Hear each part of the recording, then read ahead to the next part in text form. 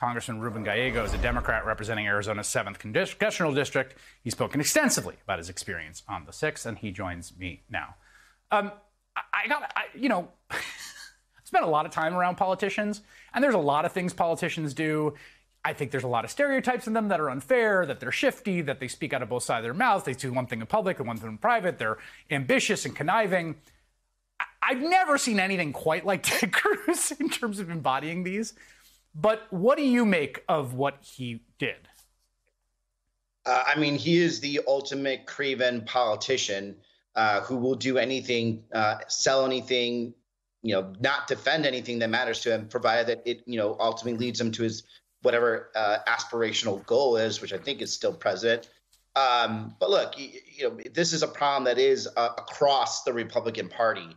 Uh, they've lost all sense of direction. They're no longer a party of policy and ideas. They're a party that is just a cult of personality. Uh, and if you are a good Republican uh, elected official, you have to stand by uh, Donald Trump and you have to basically align with him. And part of that is the sheer denial of the fact that there was political violence, that there was terrorism, uh, you know, on January 6th. Uh, it's a sad statement for Cruz. You know, I've been in politics now for um, uh, probably 10 years uh, it's just not worth it. It's not worth selling out your family like he did when he sold out his dad and his wife. It's not worth selling out your own soul, especially for someone like Donald Trump. Uh, and to grovel at the you know at the knees of somebody like Tucker Carlson, uh, it's definitely uh, not worth it. I would rather be out of politics than have to do something like that. Yeah, I remember, you know, I, I, I, once, I had a friend once who ran for office, and I remember having a conversation with him before he ran where we were going to like make a list of things he wouldn't do or say and put it in a safe when he went to run so that we and we would have the key for it that we could go and like take it out and be like you can't do that buddy. And i think someone uh, uh, should do that there. Um, usually the, your family that does that. what's that? It's usually your family that does that for you. Yeah or someone some sort of intervention. Um, th- but but your point here i mean cruz is a sort of ridiculous example, but like this is now this is the litmus test. I mean, I, I think what you saw a year ago was people felt like they could say we can. This was horrible, and and uh, the Senate. I remember the Senate Republicans tweeted out like this is not who we are. There's a lot of like now. Granted, the majority of the caucus in the House that you serve with voted for the coup. Okay, but they could at least condemn the violence. Even that now condemning violence, and this seems to be an important thing if you're going to run a liberal democracy in which conflict is resolved through nonviolent means, even condemning the violence now is not allowed. Again, like because the violence points directly at Donald Trump. It is a direct attack on Donald Trump. So if you are attacking, if you're saying this was a violent uh, coup or if it was a violent act, you're basically saying that that was pushed by dear leader. Uh, and when you you can't attack dear leader, dear leader is perfect, right? Uh, so that's what's happening right here. This all points back to the cult of personality that is surrounding Donald Trump, uh, and it is being reinforced uh, by the unified media messaging uh, that they have there through Fox News, through you know their particular uh, you know blogs, you know Telegram lists, WhatsApp lists, and what's happening more and more is that because these decisions are being made in primaries the Republican Party is becoming even more extreme because you know moderates are just leaving the Republican Party and not participating yeah. in primaries. So this thing is going to keep evolving.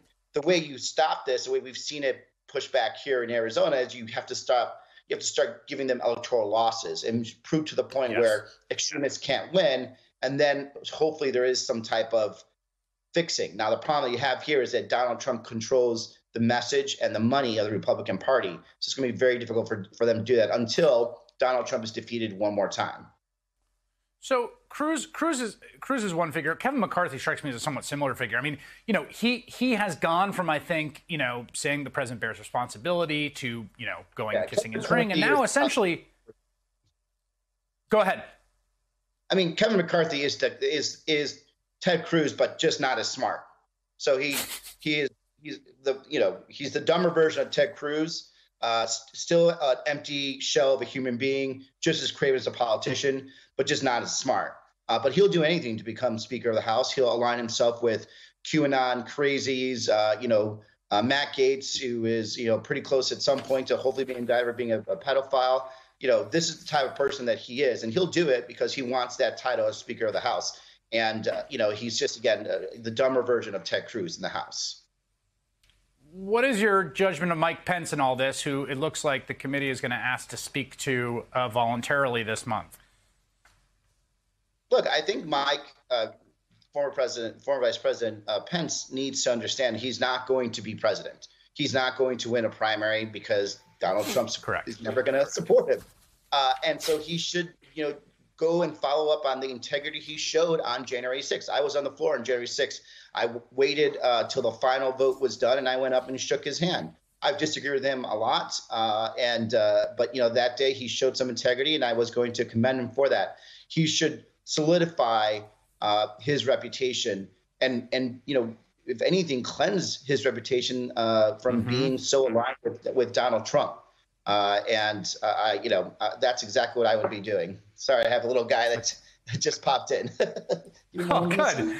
Oh, we love we, we, we're we're big fans of little guys. Hey, hey buddy. Um, I got well, I, good. I can have dessert after this. good. That well, you just offered good advice, and for any children within earshot about uh, earshot about how to conduct yourself, Congressman Ruben Gallego. Thank you for your time. Thank you for your time too.